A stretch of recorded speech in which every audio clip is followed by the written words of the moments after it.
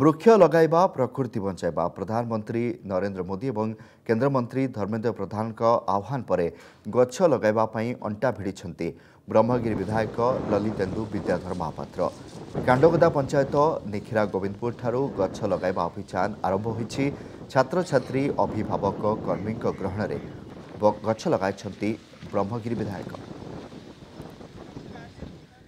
Climate ଚେଞ୍ଜେସ୍ର ବ୍ୟାପକ ଅ, ଅ, ତାର ଲୋକମାନଙ୍କର ଜୀବନଶୈଳୀ ଉପରେ ପଡ଼ୁଛି ଅ, ମାର୍ଚ୍ଚ ମାସରେ ଏପ୍ରିଲ ମାସରେ ଯେଉଁଭଳି ପ୍ରଚଣ୍ଡ ଗରମ ଯେଉଁଟାକି କଣ୍ଟିନ୍ୟୁ କରୁଛି ମେ ଜୁନ୍ ଅ, ଯାଇ ବର୍ଷା ଦିନରେ ବର୍ଷା ହେଉନାହିଁ ଶୀତ ବେଳେ ଶୀତ ହେଉନାହିଁ। ଆଉ ଯେଉଁ ଯେଉଁ ଉମ୍, ବର୍ଷର ଯେଉଁ ତିନି ଯେଉଁ ଋତୁର କଥା ଥିଲା ବର୍ତ୍ତମାନ ଏଇ ଜଳବାୟୁ ପରିବର୍ତ୍ତନ ପାଇଁ ଏ- ଏଇସବୁର ବ୍ୟାପକ ପରିବର୍ତ୍ତନ ହେଇଛି।